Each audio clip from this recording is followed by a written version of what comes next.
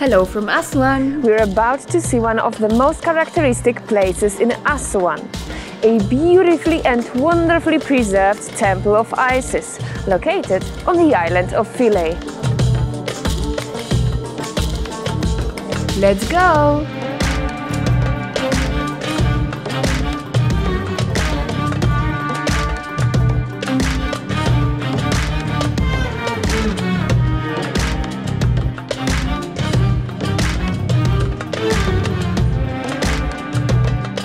Island is located at the first cataract between the Old Aswan Dam and the Aswan High Dam.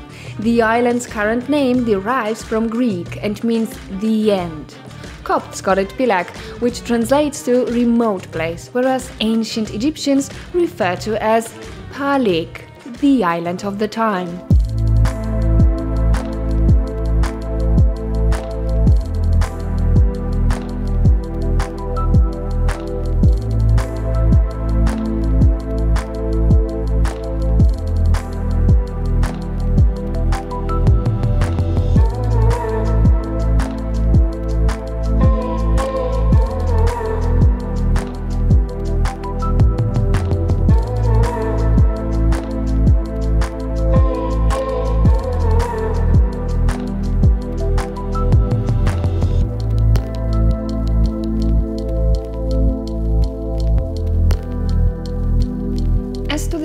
Of the temples, it's not the original one. The temples on the Philae Island were dismantled and relocated in the 1970s, around 500 meters northwest, to Agilikia Island, after the construction of the High Dam, which resulted in the submerging the original island underwater.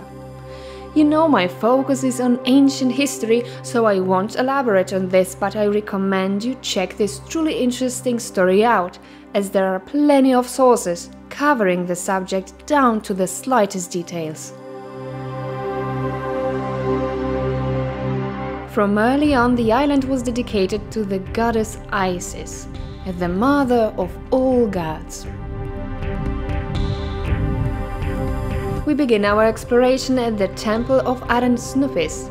It dates back to the 3rd century BC, but was probably built on the remains of an older structure, dedicated to the Nubian god Arensnuphis, about whom there's almost no evidence. Probably his main titles were Companion of Isis and Protector of Osiris.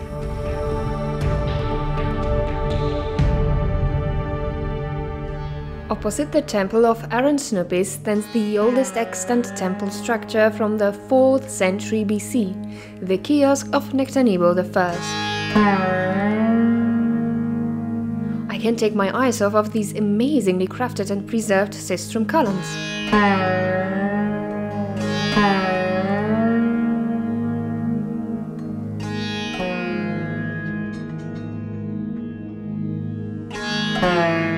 Nectanebo was a founder of the 30th dynasty, the last native dynasty of ancient Egypt. Nectanebo also built the main gate, later incorporated into the first pylon.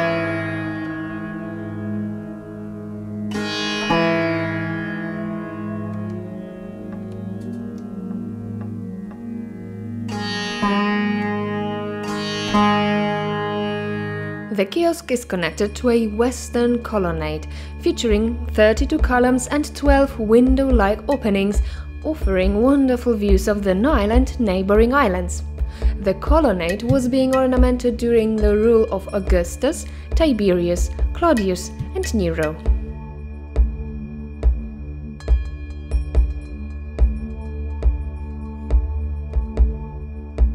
The first mention of Isis occurs in the pyramid texts in the late 5th dynasty. However, the first temple dedicated to her wasn't built until the 6th or the 7th century BC. Isis is a Greek name. The ancient Egyptians called her Aset, meaning Queen of the Throne. Hence, until the New Kingdom, she was usually depicted with a throne on her head but here on Philae we'll recognize her by the vulture crown with sun disk between the horns.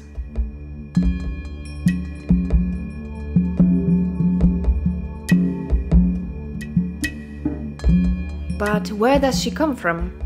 Let's hear one of the versions of the ancient Egyptian myth of creation. At the beginning of time there was nothing but water and darkness.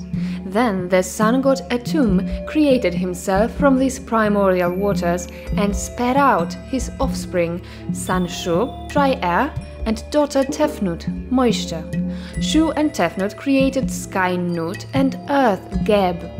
Geb and Nut engendered the gods, two brothers, Osiris, god of order, and Seth, god of chaos, as well as two sisters, Isis and Nephthys. Isis was married to Osiris and Nephthys to Seth.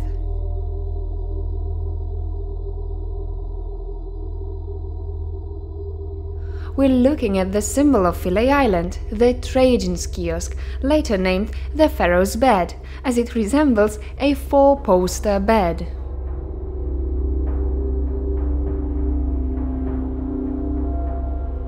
The building measures 20 by 15 meters and is almost 16 meters high. It features 14 simple but magnificent columns with floral inspired capitals and had a timber roof in ancient times.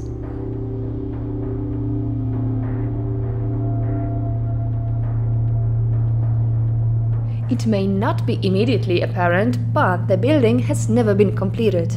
Only two screen walls are adorned with reliefs, and the part of the columns above the floral capitals were to be adorned with sistrums, the same as in the temple of Hathor in Dendera.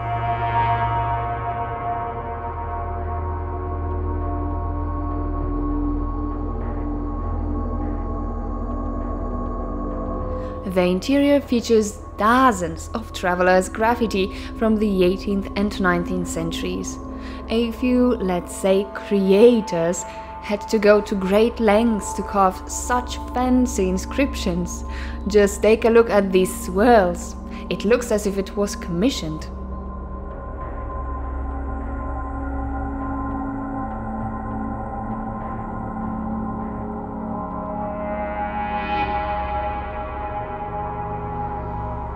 The kiosk of Trajan was probably built as a shelter for the royal boat of Isis.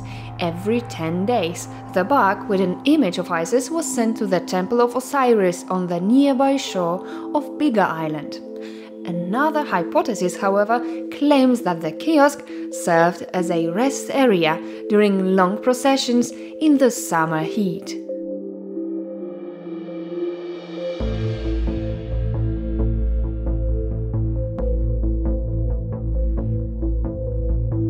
Large majority of still existing structures was erected during the Ptolemaic period. The Great Temple of Isis in front of us isn't an exception. Its construction was initiated by Ptolemy II Philadelphus around 270 BC and was continued by his successors. The first enormous pylon, measuring 45.5 by 18 meters, displays on its two pyramidal towers a traditional Egyptian scene the ritual massacre of the unfaithful ones. The pharaoh depicted on both massives is none other than Cleopatra's father, Ptolemy XII. Naturally, the enemies will be sacrificed to their gods Isis, Horus, and Hathor, portrayed next to the pharaoh.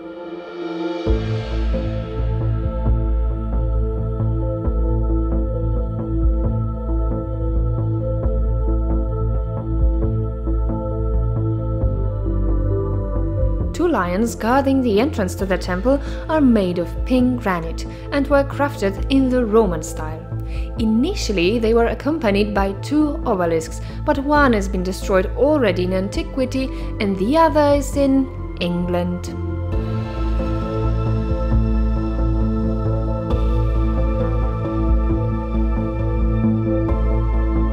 One version of an Egyptian myth says that Seth killed his brother because Nephthys' child, Anubis, was conceived by Osiris. Seth cut Osiris' body into 14 pieces and scattered them across the entire Egypt. Isis transformed herself into a huge bird, found all the pieces, sewed them together, and wrapped in strips of linen. Then she used powerful magic to bring her brother husband back to life. Osiris, however, couldn't stay in the land of the living and became the king of the afterlife. Before leaving, he assured Isis that she would have a son by the name of Horus, who would defeat Seth, restore order, and protect humanity. Not much later, Isis bore a son, nursed him and protected until he became strong enough to fulfill the prophecy. This myth not only explains why every pharaoh wanted to be perceived as the child of Isis, Horus in life, and Osiris after death, but also makes us understand why Isis was so important and held the titles of the Mother of all Gods, Great of Magic, Mighty Healer, and Protector of the Dead.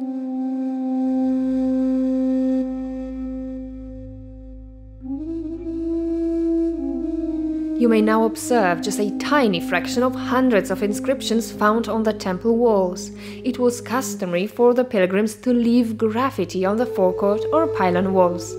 The island features more than 450 examples of the Demotic inscriptions, almost a hundred more than Greek ones. Moreover, we can find here the very last dated Demotic text written in December 452 AD. Demotic script, here's an example, was initially used for legal, commercial, scientific and religious purposes from around 660 BC. It was strongly cursive and always written from right to left. During the Ptolemaic period, its use was extended and regularly carved in stone. Its best known example is to be found on the Rosetta Stone, a key to the decipherment of Egyptian hieroglyphs. The temple also features the very last hieroglyphic inscription carved in 394 AD.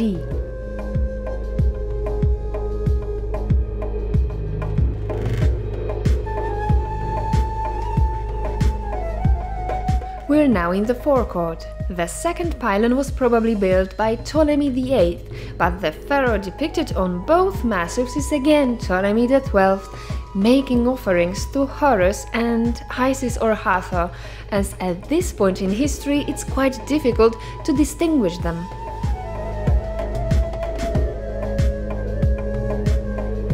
In the southeast corner of the forecourt stands a small, inconspicuous granite altar dedicated to Amon Ra, which actually is the oldest object on the entire island, raised around 670 BC by Taharka, a pharaoh of the 25th dynasty of the Kingdom of Kush, also known as the Nubian dynasty.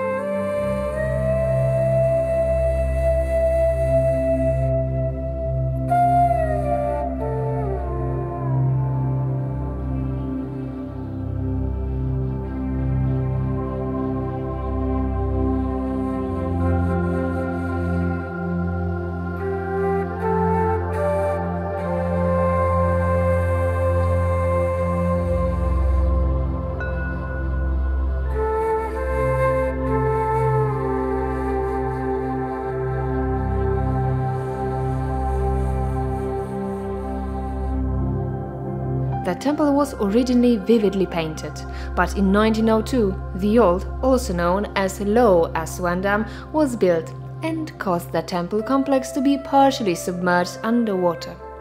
In consequence, all the colors were washed away. This natural 200 kilos granite block was trimmed into a stele in 157 BC. It informs us about the donation of land to the temple, that is, to the priests of Isis. It was commissioned by Ptolemy VI.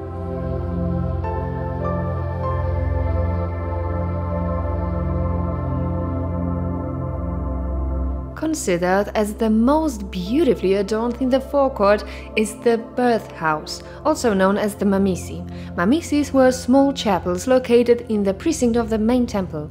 Very common during the Ptolemaic and Roman periods, they symbolized either the birthplace of the god of the main temple or, if the main god was a female, like Isis here, they were perceived as a place where the goddess bore her offspring. Here in Philae, the rituals of the divine birth, which took place only once a year and in which only kings and high priests could take part, were dedicated to young Horus and symbolized rebirth of the pharaoh.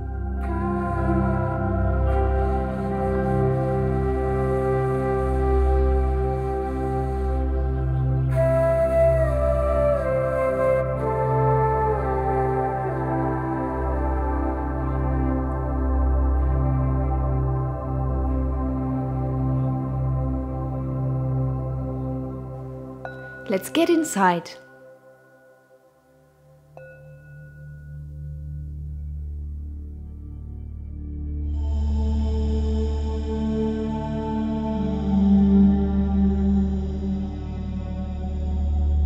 We're now in the hypostyle hall which displays superb columns with floral capitals. Presumably, they are depicting the first primordial plants.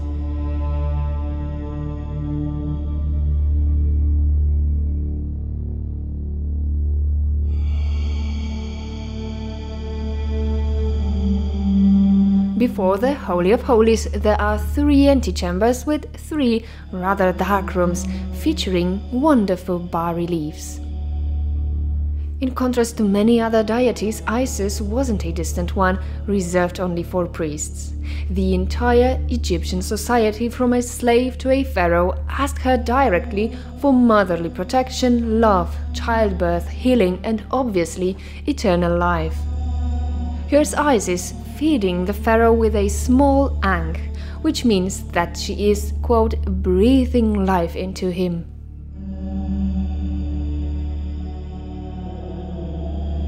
As worship of Isis continued to spread in the 4th century BC, her temples were erected throughout the Mediterranean world, and her role was extended to goddess of the sea, travel, and good fortune.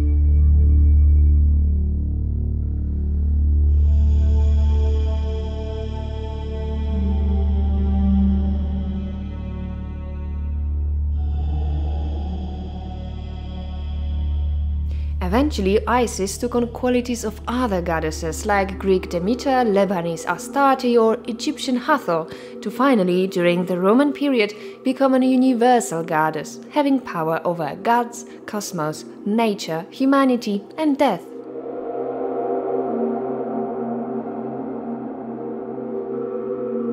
The inner sanctuary, on the granite pedestal founded in around 240 BC by Ptolemy III and his wife Berenice, originally stood the statue of Isis, which was carried by the priests during the processions that ended on Biga Island, where Isis could unite with her husband brother Osiris.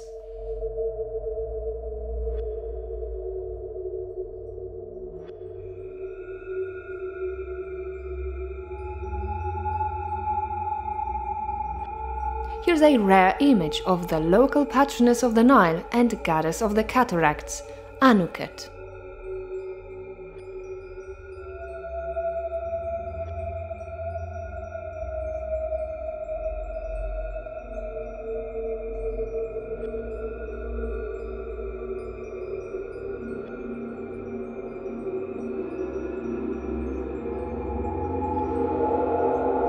Noticed quite a lot of reliefs depicting pharaohs holding an instrument called sistrum. It was played like a rattle, and according to Egyptian beliefs, the sound of the instrument calmed the angry gods down.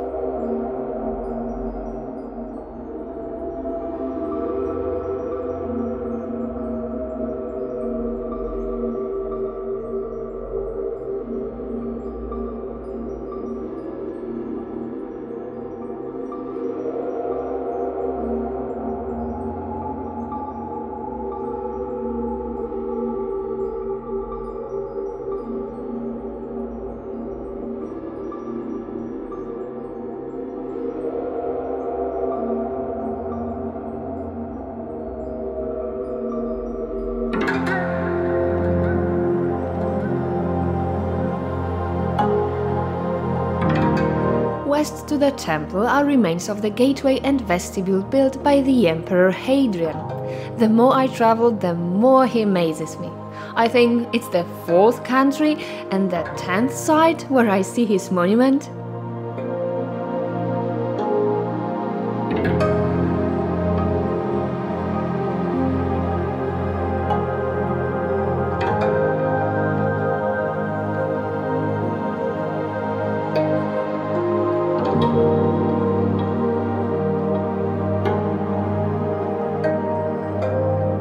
Just next to the Hadrian's Gateway stood the Temple of Harendotis, which means Horus the Avenger of his father.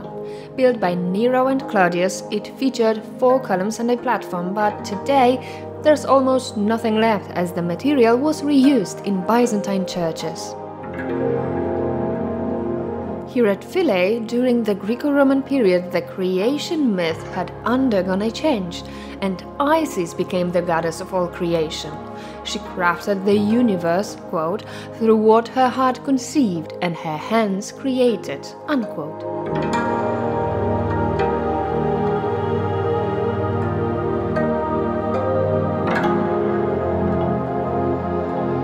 We're now at the northern end of the island. There are remains of the Temple of Augustus, built in 9 BC, and the Triumphal Arch erected by the Emperor Diocletian.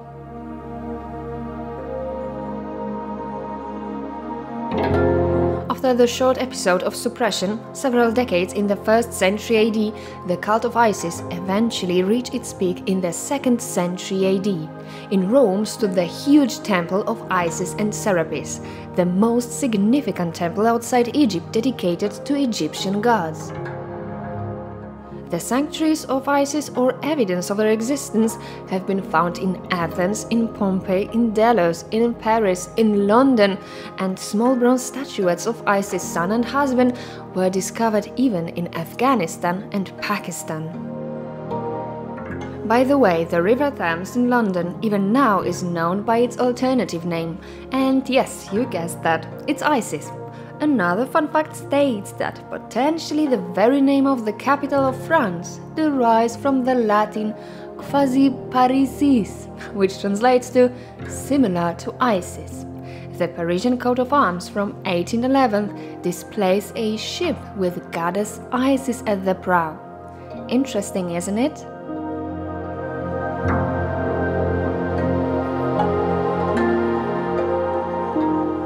Eastern side of the island, we reach a small Ptolemaic temple dedicated to Hathor, goddess of love, beauty, music, dancing, fertility, and pleasure. If you're interested, I posted a full video about her great temple in Dendera. You can find the link below in the description. This temple is adorned with joyful scenes of musicians and dancers, and among them there are quite a few images of Bes a dwarf primarily protector of pregnant women and children, god of fertility, sexuality, humor, and war. Before the battle, Egyptian and later Roman soldiers drank from the chalices with Bes's image and wore shields bearing his likeness. Bes was perceived as a fierce warrior fighting off evil, but also as a joyful creature. When an infant or a baby was laughing for no apparent reason, the ancients believed that Bes was the cause. In the 1st century AD, the Apostle Mark arrived in Egypt exactly to Alexandria, and according to Coptic tradition, he was the first one to teach about Christianity in Egypt.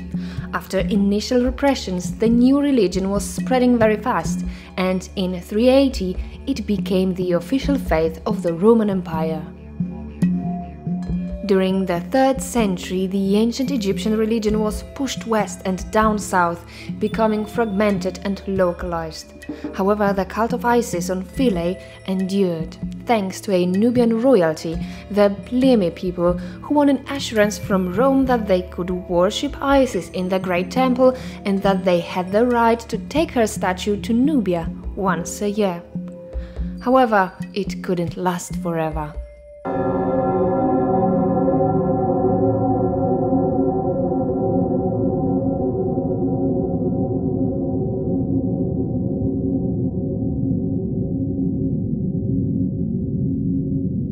Eventually, between 535 to 537, the temple was closed and the priests expelled or arrested on the order of the Byzantine Emperor Justinian I. The place hasn't been abandoned, actually, quite the contrary.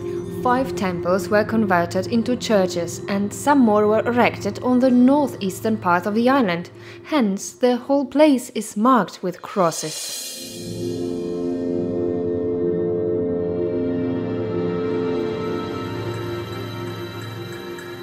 The event of closing the Temple of Isis is generally agreed as the end of the ancient Egyptian religion, and in my opinion, is also a symbolic end of antiquity in Egypt. Would the cult of Isis be a major religion today if it hadn't been superseded by Christianity?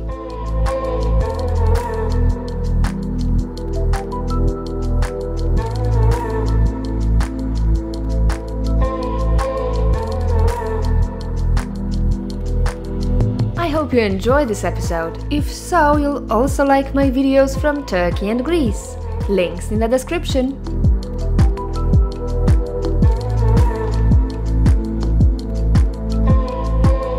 I'm still exploring Egypt, so if you want to stay up to date with new episodes, please subscribe to my channel.